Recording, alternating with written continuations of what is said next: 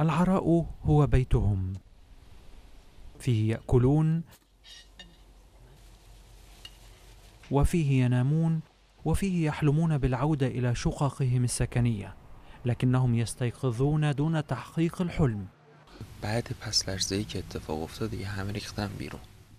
منذ الزلزال الأول والناس تنام في المتنزهات أربعون أو ستون بالمئة من السكان يفعلون ذلك. في الساعة الثانية صباحا كان هناك هزة أخرى وأتوقع أن يهرب تسعون بالمئة من السكان خارج بيوتهم. نحن هنا لليوم الثاني. هذه هي حال الكثير من سكان مدينة تبريز الواقعة في شمال غرب إيران والتي ما زالت تتعرض لهزات أرضية تابعة لزلزالين قويين. ضرب الإقليم يوم السبت وترك عددا من القتلى يتزايد حتى تعدى المئتين والثمانين حسب بعض الروايات الرسمية. بعيدا عن المتنزهات هناك المستشفيات أو بالأحرى طرقاتها التي لجأ إليها حوالي ألفي مصاب.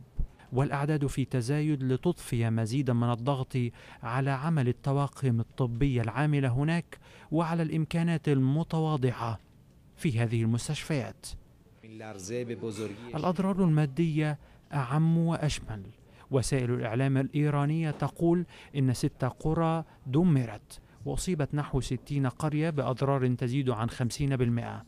رجال الإنقاذ لم يتمكنوا من الوصول إلى بعض القرى التي ما زالت بحاجة إلى مساعدات غذائية وطبية ومادية.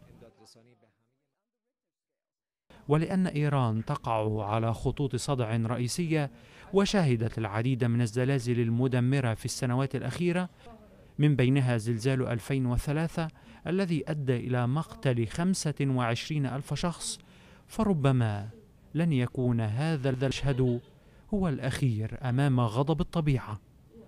مصطفى المنشاوي بي بي سي.